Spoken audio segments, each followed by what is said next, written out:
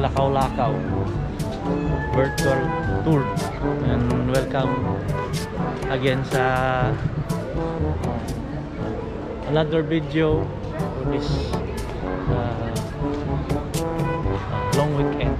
Uh, hope you enjoy for this uh, another uh, episode. Uh, thanks for watching again. So that's it.